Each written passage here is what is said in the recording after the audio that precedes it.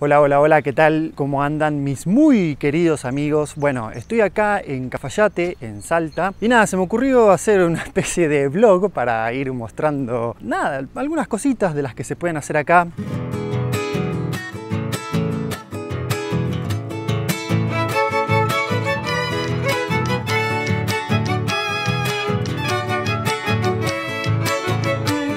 Bueno, ahora me encuentro caminando hacia una zona de bodegas. Voy a visitar más precisamente una que se llama Domingo Molina, después Piatelli tal vez, y creo que hay otra, pero no estoy muy seguro y tampoco sé muy bien cómo se llama. Bueno, tal vez se pregunten por qué tengo esta cosa acá. Es porque es, digamos, la mejor forma de protegerte del sol. Porque, nada, te pones la cosa acá, ahí, te pones la remera y a su vez te protege el sol a los costados y atrás.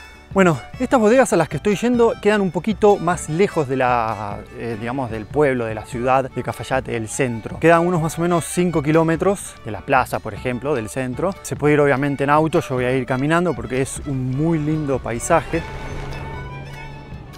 autos de mierda que no hacen ruido casi me pisa. Bueno, como les decía, a ver, estas bodegas están, bueno, eh, más cercano al pie de la montaña, de los cerros, y como voy a ir caminando, a mí me habían aconsejado ir eh, a la mañana, ¿por qué? Porque en general a la mañana el clima acá está lindo, o sea, hay sol y qué sé yo, y a la tarde suele descomponerse. ¿Y cómo Uf, ya estoy regitado. ¿Y cómo puedes ir viendo eso? Bueno, lo que hay que hacer es ver las nubes que hay sobre el cerro. Bueno, y alguien que vive acá lo que me había explicado era que si me dijo lo siguiente, o sea, si vos ves que en el cerro no hay ninguna nube, entonces anda tranquilo porque tenés unas 3 o 4 horas en que estás seguro que no va a llover. Y yo esto lo tenía planeado hacer ayer y digamos que el panorama no era muy prometedor.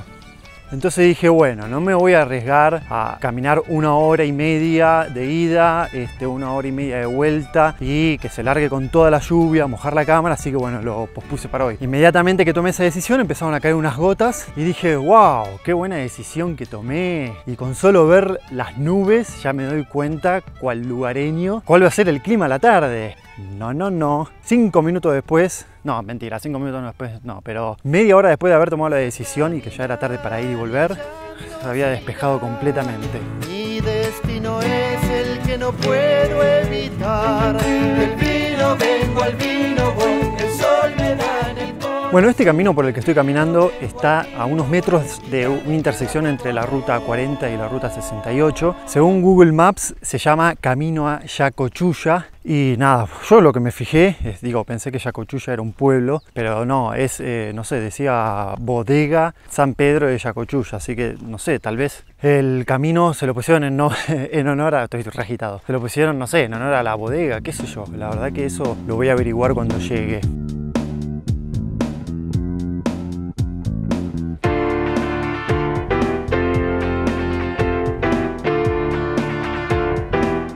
Bueno, para la primera bodega del recorrido que es Piatelli hay que tener reserva y nada, según el encargado ya no hay más lugar. No sé si es eso o que me vio la cara de terrorista claramente con este atuendo, entonces yo tampoco me hubiese dejado pasar. Nada, y son como las 11 de la mañana y dice que tal vez haya lugar, tal vez a las 3 de la tarde, cosa que no creo que sea así. La visita guiada, te cobran la visita guiada que sale 300 mangos y con una degustación sale unos 400 o 450 pesos.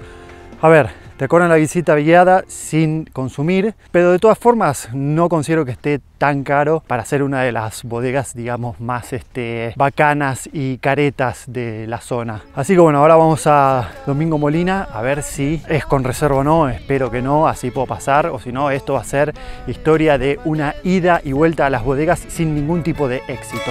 ¡Eh!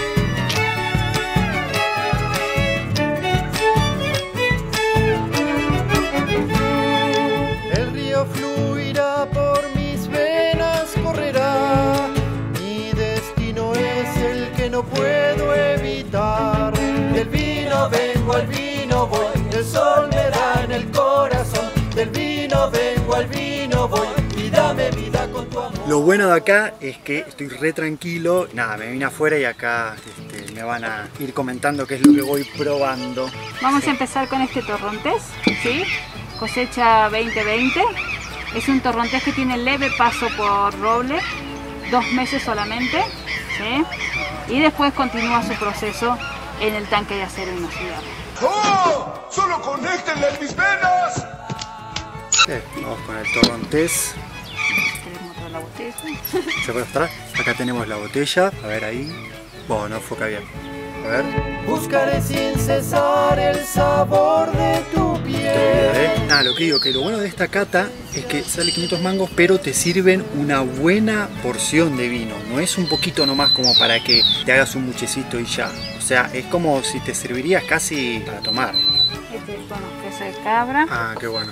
y unos palitos. ¿eh? Oh, riquísimo.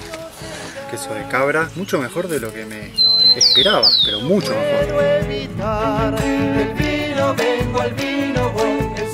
También te dan unos grisines. Es la 1 menos 10 y la visitas a la 1 y media recién. Por eso yo hago la cata y ya vuelvo, porque además me parece que se va a alargar la tormenta. Segunda. Petit Verdot, cosecha 2017, ¿sí? Este Petit Verdot es de reserva, es un gran reserva, tiene 8 meses de crianza en roble francés de segundo uso. Es un vino intenso, complejo, ¿sí? Piracínico, ¿Cómo, perdón? piracínico, Tiracínico. pira, Pira. piracínico. Ah, nunca escuché esa ¿sí? palabra. ¿Qué es? Es un componente que tienen los condimentos, todas las especias, como quien dice, ¿sí? que le hace un- notar un picor en, en el vino. Ah, a ver. Sí, es especiado, para decirlo así. Claro, lo que sí ya noto es mucho olor a uva. Sí, sí, sí, Sí. intenso, intenso. Sí, sí. Muy rico. Tiene como mucho, mucho, mucho sabor a uva. Este es distinto a muchos de los que probé posta. Y muy linda vista. Después voy a mostrar un poquito esta vista que elegí. Ahí, no sé, hay un valle. Todo el viñedo, valle, montaña. Es excelente. No se irá. Mi destino es el que no puede. Tanat, cosecha 2015, también con el mismo tiempo de crianza en roble francés que este, 8 meses y roble de segundo uso, barrica de segundo uso. Una pregunta. ¿Eso Sí. que es de segundo uso es porque se puede usar hasta tres veces? 4 hasta 5 veces. Ah, ok. sí. Este Tanat tiene, todos los domingos Molina Tinto tienen el mismo tiempo de crianza en roble francés. ¿Este también es reserva? No. Este también es reserva. Ah, ok. El río fluirá por mis venas, correrá. Es excelente. Me encanta. Este lo noto como más suavecito, no tan frutal como el otro. Los dos son riquísimos. Por ahí el otro es más sabroso, por decirlo de alguna forma. Voy a chamullar, ya lo sé, pero para por ahí la gente que eh, no le gustan los sabores tan fuertes, por ahí este mejor. Yo soy todo un experto en vinos. El queso de cabra es lo más, es muy bueno. Es como fuerte y suave a la vez, no sé cómo explicarlo. Tiene un sabor que me hace acordar a algo, pero no sé a qué. Veo muchos cactus acá. Por acá cerca está como el campo nacional, el eh, Parque Nacional de los Cactus en Cafayate. Y a mí siempre me da la sensación de que me están haciendo fuck you. No sé por qué, pero siempre me da esa sensación. Oh no, está lloviendo, no, por favor. Concha la luna.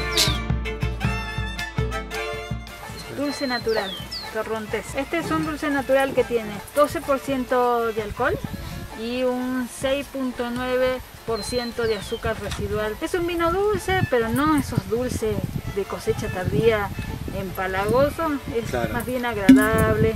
Por eso es dulce natural, este le cortan la fermentación para dejarle azúcar residual. Ah, o sea, cuando se sale antes, deja más azúcar y si se deja más, deja menos. Cuando- eso. ¿Cómo dice? No, eh, Claro. esta la cosechan en tiempo y forma y para dejarle azúcar residual le cortan la fermentación para que no todo ese azúcar se convierta en alcohol. Bueno, el foco de esta cámara es tremendo. Dulce natural. Muy rico, es re dulce, pero me gustan los vinos dulces, pero este está muy bueno. Cuando algo es bueno, es bueno, ¿eh? Bueno, mis queridos amigos, eh, se está largando a llover. Estoy en un lugar que no resguarda tanto la lluvia, así que voy a ir guardando la cámara. Les mando un besulis. Salud. vino, vengo al vino, voy. Y dame vida con tu Adiós. amor. Ay, no. Odio soñar cosas lindas porque después te despertás y es un bajón saber que nada fue cierto.